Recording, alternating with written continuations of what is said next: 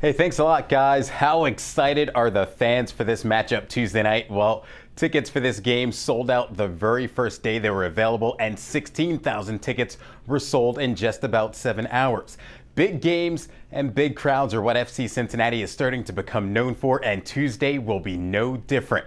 FCC finds themselves in a place they could have only dreamed of. Yes, they were hoping for a good showing in the U.S. Open Cup, but to actually be playing in the semifinals with a chance to win the Cup is unbelievable. FCC will host the New York Red Bulls, a team who is in fourth place in their conference in the MLS. And let's not forget how big this tournament is in the eyes of the brass of the MLS. FCC is not only showing they can play with the big boys, but they also have the support from their fan base.